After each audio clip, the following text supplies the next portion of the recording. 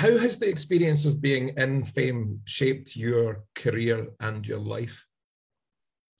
That's an excellent question. Um, after I got over the shock of the fact that I'm kind of one of them, it took Nia Peeples to keep reminding me, you're here.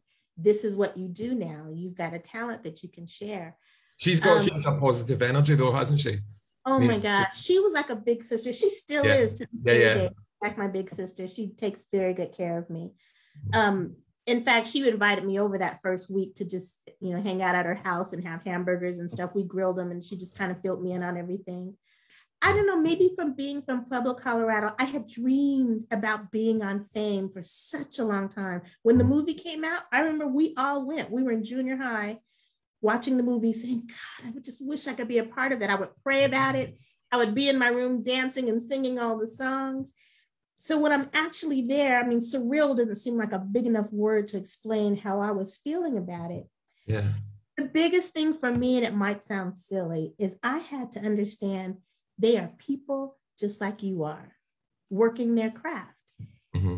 It took a while for that to really sink in. For me, they were above that